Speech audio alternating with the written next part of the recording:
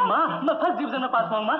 अभी अभी तारा आया देखो अब कोई चिंता नहीं। पिताजी के दफ्तर के साहब ने कहा था अगर मैं बी पास कर लूँ तो मुझे ज़रूर नौकरी देंगे। नौकरी मिलते ही कलकत्ते जाकर एक मकान ढूंढूँगा और तुझे माँ को ले जाऊँगा। फिर किसी अच्छे से अस्पताल में तुझे भर्ती कर तेरी बीमारी का इलाज करवाऊँगा। छोटा सा घर होगा बादलों की छाओ में आशा दीवानी मन में बंसुरी बजाए।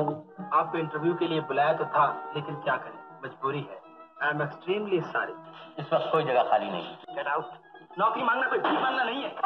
एक छोटी सी नौकरी का तलबगार हूँ मैं। एक छोटी सी नौकरी का पूरे एक साल से कोशिश कर रहा हूँ। मैं तो हार चुका हूँ। आप ज़ोर लगा देखिए। अगर आपकी किस्मत साथ दे जाए। सुनिए मेरा नाम रतन है और आपका? सीमा मेरे कल उलझ गया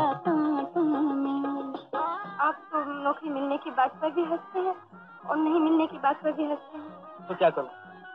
ये तो हमारे ज़िंदा रहने का सहारा है। मिल गई हाँ, मिल गई नौकरी नौकरी नौकरी मिल गई। नौकरी शादी नहीं हुई नहीं लेकिन होने वाली बस नौकरी मिलने की शर्त अरे न जाना न पहचाना और तेरह सौ मील दूर कहीं नौकरी करता है इससे तो वो अपने विश्वनाथ बाबू का लड़का कहीं अच्छा है